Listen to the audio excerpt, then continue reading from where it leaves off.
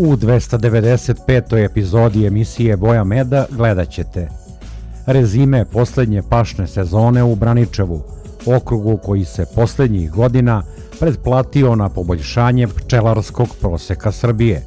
U malej školi pčelarstva odgovaramo na pitanje šta se više isplati, dodavanje novih ramova pčelinjem društvu ili dezinfekcija starih ramova. Ostanite uz Boju Meda i Agro TV.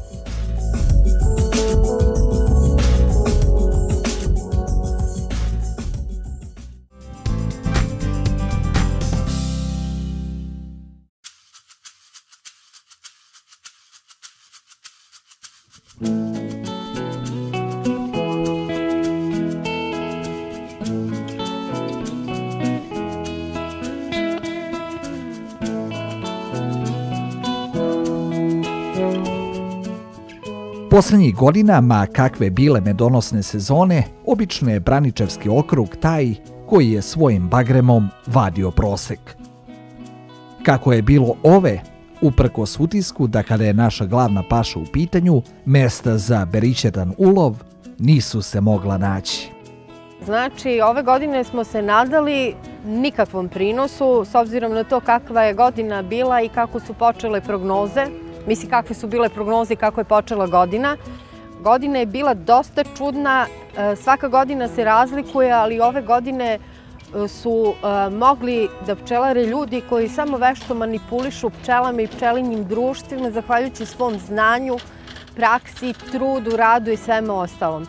Radila sam znači tako da spremam pčele za pašu, stimulisala sam normalno taj pčelinji razvoj, vodila ovaj računa o njima da mi budu spremne za bagrem, očekujući da bagrem neće da zamedi. E, međutim, i pored toga što je bio kišan e, period, bilo je tu i hladnih dana, e, bagrem je zamedio. Bilo je pametnije biti, znači, na mestu gde očekujemo pašu, nego ostati u stacionaru. Mnogi su pogrešili što su ovaj, ostali u stacionaru, s tim da e, neće biti paše i ovaj, tako da su izgubili to.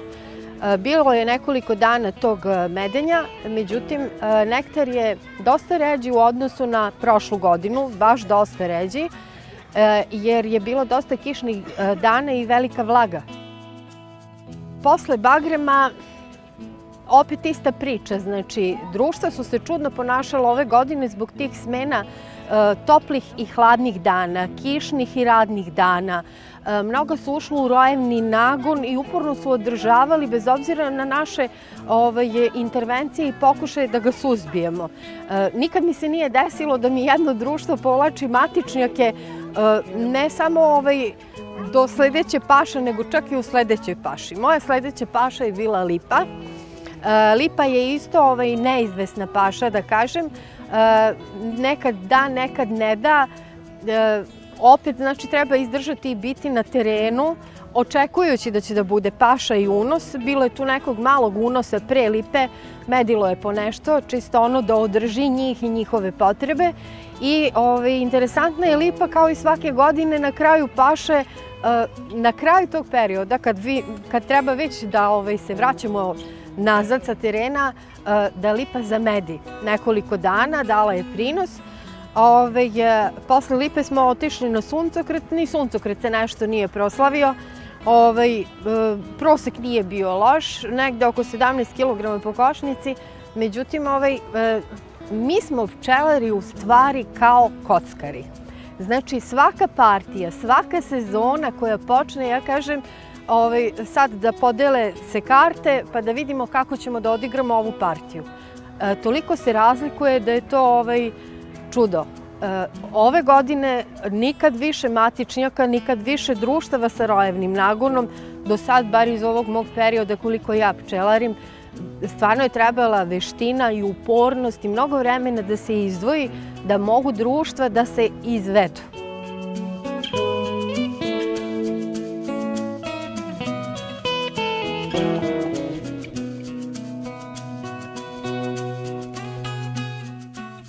Prvo što ovaj, nam je jako bitno je da što pre izvrcamo med sa poslednje paše da izvadimo i da krenemo sa tretmanom proči, pčelinje vaši, da ne kažem varoje, da pčele lepo očistimo, a, a onda je bitna količina hrane koju one imaju u košnicama i normalno prati se mnoga društva ovaj, imaju mlade matice, a matice ili nisu dobro oplođene, nešto se desi i ostanu bez nje.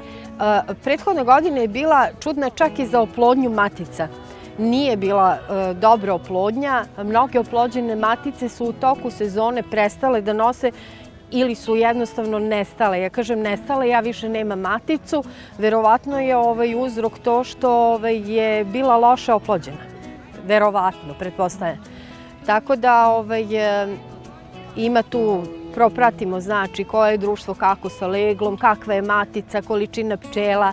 Ako treba ovaj, spajamo E, slabija društva da bi mogla zajedno udružena da prezime. Prihrana je prestala, znači ovaj, e, ja to radim do 15. septembra i ne više e, i pratim, ove godine ne očekujemo medljiku jer je bilo dosta kiša, tako da je nema i pokazalo se do sada nema tog unosa. Inače u tom slučaju kad zamedi medljika, pošto je nezgodna za prezimljavanje jer je puna mikroelemenata i pčele onda u zadnjem traktu ne mogu da lagiruju toliku količinu fecesa zbog tih minerala. Dešava se da dođe do nozeme, do uginuća od toga.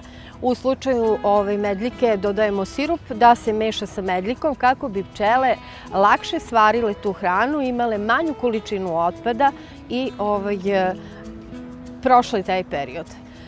Ima tu više tih stvari na, o kojima moramo da vodimo računa i da pratimo. Znači, leglo je prestalo, ima možda jedno, dve, tri nedelje da se drastično smanji unos vode sa pojilišta. To nam je onako jedan od parametara. Kad puno nose vodu, neguju leglo, u bespašnom periodu nose malo više vode. Kad ima ovaj, unose iz priroda, priroda, onda nose manje, ali nose vodu.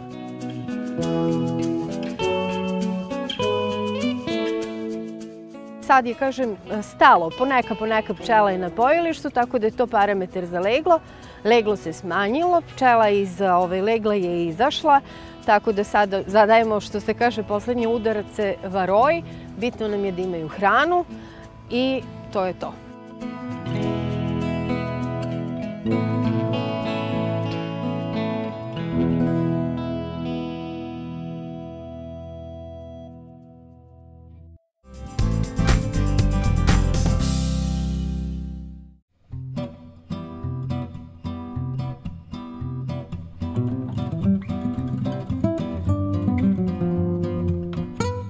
Malo u šali, malo u zbilji, te i sami pčelari priznaju da ponekad njihove priče, pogotovo o količini meda, nisu potpuno istinite. Sa druge strane kažu da su pokatkad skloni i da uštede, ali tamo gde svakako ne bi trebalo. Na primer, u redovnom obnavljanju zajednice novim ramovima. Za nas, pčelare, važi da smo dugo živeći, dobri ljudi, ali da smo pomalo škrtice.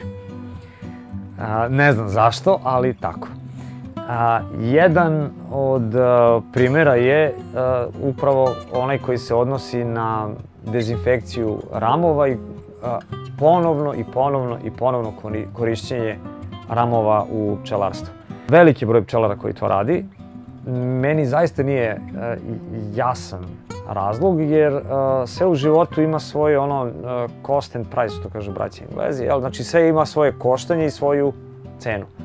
Ukoliko bismo nanovo koristili jedne pa te iste ramove, a preporuka je da se svake uh, treće godine zameni. Dakle, svake godine da zamenimo trećinu ramova. Ako pričamo o jednoj LR košnici koja ima 20 ramova u plodištu, znači 10 plus 10, tako, onda govorimo o nekih 20 ramova, znači 6 do 7 ramova bismo trebali svake godine da zamenimo. Kupovina novih užećenih ramova na tržištu bi sad bila nekih 65 do 70 dinara puta 7, to zaista nije novac koji svako od nas ne bi mogao da priušti. Zašto ovo kažem? Da bismo ih dezinfikovali, da bismo ramove dezinfikovali, najpre je potrebno da očistimo od stare žice, da očistimo od starog voska. Što je već problem, jer je sam posao po sebi vrlo težak, zahtevan, košta vremena i košta truda i rada. Pri tome, da li možemo da budemo sigurni da smo svu količinu voska starog skinuli i one prljave delove? Ne možemo. Dalje, sama dezinfekcija se a, svodi tako što se najčešće ramovi kuvaju u određenim dezinfekcijnim sredstvima. Dobar deo pčelara to radi u masnoj, kaustičnoj sodi, 4%, 5%. I ona se, da se razumemo, dobro pokazala. Mm, zaista ne mogu da kažem da nije. Ali je problem koliko nam je potrebno vremena da bismo na jednom pčelinjaku 30 društava a, tako nešto uradili. Koliko nam dana treba, koliko nas to sve košta. Verujem da, nažalost, ogroman broj pčelara ne stavi na papir a, cenu svog rada i dolazimo do jedne jako bitne stvari. Opet ne računamo naše zdravlje. Za vreme dezinfekcije mi smo najčešće izloženi dejstvu onog lošeg dejstva raznoraznih dezinficijensa isparenjima. Sami sebe na taj način trujemo. Ili ako ne trujemo, onda koristimo maske koje ponovo koštaju. Pri tome, da bismo uništili dobar deo spora, raznoraznih uzročnika, pričali smo malo o nozemiji, ali se radi i o drugim bolestima koje se nalaze, da li možemo da budemo sigurni da je svaki deo rama zaštićen i nekim ljuspicama voska koji su ostali, bio izložen temperaturi od 100 stepeni barem nekih desetak minuta. Ja lično nisam ubeđen. Dakle, kad stavimo na stranu koliko nas koštaju novi ramovi i koliko nas zaista košta uh, skidanje, spremanje, opremanje starih ramova, njihova dezinfekcija, vreme, trud i rad, naše zdravlje, verujem da će svakom onda, evo, posle ovakvog načina razmišljanja da bude jasno da jednostavno, i pri tome nismo sigurni da li smo dobro dezinfikovali ramove. Mislim da je svakom a, jasno da je jedino isplativo zaista zameniti ramove svake, svake treće godine, a ne dezinfikovati. Kada smo rekli svake treće godine, dakle rekli smo svake treće godine bez obzira na stanje ramova, dakle iako su na izgled dobri, to ne znači da su oni dobri, pri tome su bili pod dejstvom razno, raznih uticaja. Može li se uraditi to isto već prve godine? Naravno. Može li nam se desiti da je a, pa možda baš inozema bila prisutna u, na samim a, a, ramovima? Dakle, takve ramove treba odmah već prve godine a, ukloniti. Šta mislim da je zaista neophodno, ali neophodno svim našim, ne samo pčelarima, nego generalno proizvođačima hrane u, u Srbiji skrenuti pažnju. Hrana je sve skuplja. Da bi našla svog kupca, mora da ima svoj kvalitet. Da bi imala kvalitet, mora da ima što manje lekova i rezidua razno, raznoraznih pesticida, pa čak i a, suplemenata u sebi. Da bismo to uradili, moramo da podignemo nivo zdravlja pčela, pa i drugih domaćih životinja, na jedan jako visok nivo.